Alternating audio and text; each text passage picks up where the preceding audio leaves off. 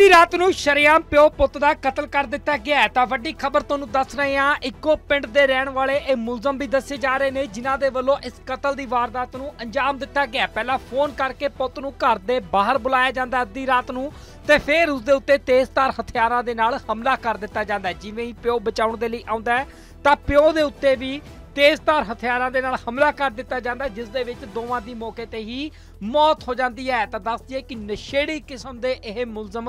ਦੱਸੇ ਜਾ ਰਹੇ ਨੇ, ਜਿਨ੍ਹਾਂ ਦੇ ਵੱਲੋਂ ਪਿਓ ਪੁੱਤ ਨੂੰ ਸ਼ਰੇਆਮ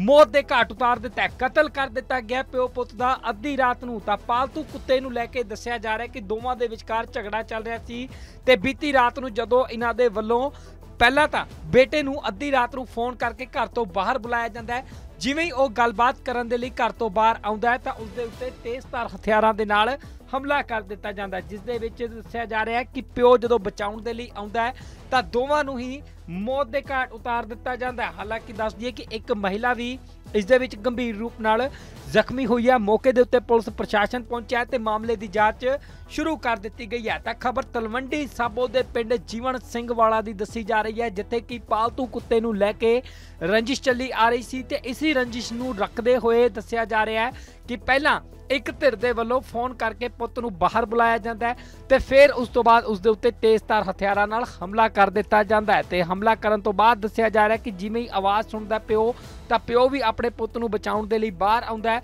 ਤਾਂ ਉਸ ਦੇ ਉੱਤੇ ਵੀ ਤੇਜ਼ਧਾਰ ਹਥਿਆਰਾਂ ਨਾਲ ਹਮਲਾ ਕਰ ਦਿੱਤਾ ਜਾਂਦਾ ਹੈ। ਕਈ ਹਮਲਾਵਰ ਇਸ ਦੇ ਵਿੱਚ ਸ਼ਾਮਲ ਦੱਸੇ ਜਾ ਰਹੇ ਨੇ, ਜਿਨ੍ਹਾਂ ਦੀ ਹੁਣ ਪੁਲਿਸ ਦੇ ਵੱਲੋਂ ਭਾਲ ਸ਼ੁਰੂ ਕਰ ਦਿੱਤੀ ਗਈ ਹੈ। ਤਾਂ ਤਲਵੰਡੀ ਸਾਬੋ ਦੇ ਵਿੱਚ ਦੱਸਿਆ ਜਾ ਰਿਹਾ ਹੈ ਕਿ ਇੱਕ